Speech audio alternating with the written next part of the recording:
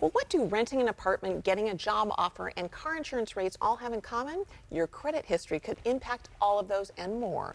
It's Financial Wellness Wednesday, and SchoolsFirst Federal Credit Union has an advance on how to build rebuild your good credit. Here to talk to us is Fruitridge branch manager Tamera Beaver. She joined us to share what goes into determining a credit score. Welcome to you, Tamera. Thank you. It's a pleasure to be here. It is good to see you, my friend. So tell us, for those who out there who maybe don't know what SchoolsFirst Credit Union is, tell us what it is exactly. So we are a credit union across California whose purpose is to serve school employees and their immediate family members. You know, we have a large commitment to financial stability um, for our members. So I'm really excited to be here today to kind of help share with your viewers ways that we can either build credit or rebuild credit um, if you've had some kind of suffer when it comes to credit. Yeah. It's so um, unstable sometimes. I bet it is. Yes. Yeah. So tell us a little bit what goes into determining a credit score for folks maybe who don't know what that what that is. So there are five different factors that you really should pay attention to that can really impact you in a better or worse um, kind of way. So your payment history.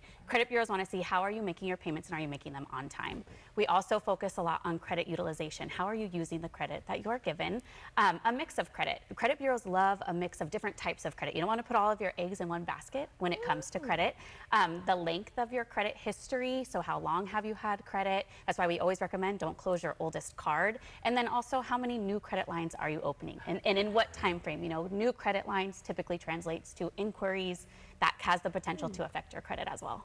Now, you mentioned earlier um, some of the stuff that credit history can impact, but tell us some other things that it could impact that maybe people don't realize out there. So, like we spoke about earlier, your um, auto insurance can be Uh-huh. impacted. Um, a lot of times when you go to rent an apartment, they check your credit. And Uh-huh. so, it's very important that you are paying attention to kind of that credit history, your credit score. Um, it also impacts your mortgage if you're going to apply for a mortgage or the interest rate that you'll pay on any type of loan that you should need, an auto loan, credit card, or anything like that. So um, it has a very big impact. You know, we're starting to also see some utility companies check your credit for establishing kind of a new utility. And I can only imagine how difficult that would be for somebody who hasn't built any credit yet. yeah, oh, absolutely. Trying to start this new life, and here they are. Exactly. So, Yeah. what, speaking of that, so what are some tips that folks can do to build their credit score? So, some of the most important things you can do. So, there are really two things that have a big impact. Again, paying your payments on time. So, your payment history, that makes up about 35% of your score. So, making sure you are paying your payments on time. Mm-hmm. One way to do that is to set up automatic payments so you can set it and forget it, right? Yeah, so, you yeah. don't have to think about it. Um, and the other thing is your credit utilization. We talk a lot about this 30%. You don't want to use more than 30% of your credit limit that's available to you. So, um, if you have a $1,000 credit card, try to keep your balance below $300 at any given time because that will really negatively impact once you hit past that 30% fresh, uh, threshold. And for a new consumer who's trying to build credit, say you don't have credit, uh-huh. getting a credit card, a small credit card, using that card, making your payments on time, uh-huh. not going over that 30% will really help you establish some good credit habits. Even if you have to do little alerts in your phone, like you Yes. mentioned, or on your calendar in your phone, just remember to pay it. Yes. It's so important to It's pay it on time. It's a huge part of your credit score. Huge Yes, part. yes. Um, so, say folks do those uh, do those tips. How soon can they see results from that? You know, while I wish there was some special formula that would tell you that, and we, when we talk about credit, we say it is a marathon, not a race. And so you have to really, um, it starts with establishing good credit habits, um, good routines when it comes to making payments and your spending.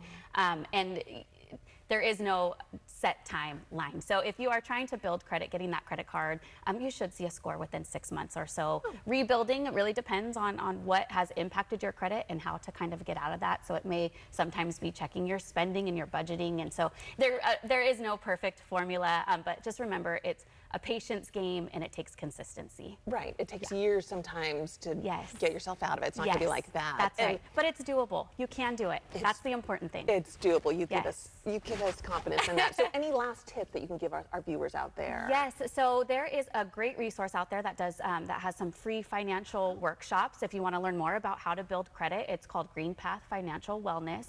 Um, you can access their website through the SchoolsFirst FCU website under our advice tab. We also have a blog um, that's called Extra Credit that goes over a lot of different financial tips um, for anything that you could you could be looking for, how to save money here, how to build credit. Um, so that's another great resource. And um, of course, we always say reach out to your financial institution, see your financial professional. Yeah. You know, depending on what your need is, sit down with somebody, talk to them. We can help set you on a path. And one last thing. So, the biggest thing with the credit score, what could you impart to our viewers out there to remember and to keep in mind with the credit score? With the credit score, making your payments on time, and really being responsible with the way you utilize your credit. You know, I remember being a young person swiping that card thinking I had all of this money to spend, and that really hurt me more than it helped me. So, really kind of getting um, in a habit and a routine of responsible um, financial choices. That's a good point, making it a habit. Yes. Just making it a habit to pay it on time. That's A little right. calendar alert and make sure it's all paid off. Absolutely. That is great information. Thank you so much for being here. Of course, it was my pleasure. Love it. For more information, you can visit schoolsfirstfcu.org. Well,